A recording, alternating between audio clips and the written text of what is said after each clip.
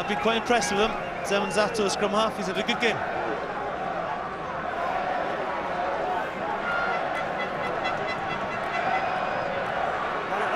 Guirado right over the top, and this is Semenzato breaking clear.